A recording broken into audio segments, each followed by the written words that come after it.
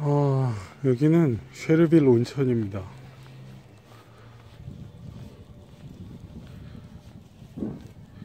큰 욕심 줄이고 제가 뭐 술 담배 안 하니까 온천하고 맛있는 거 먹고 공부하고 여러분하고 소통하고 이러면 행복한 것 같아요. 제가 뭐 크게 노름할 것도 아니고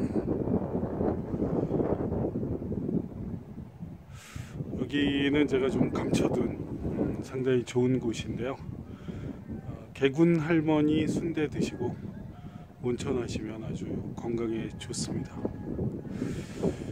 음, 혹시 여기서 보면 아는 척 하지 맙시다. 감사합니다.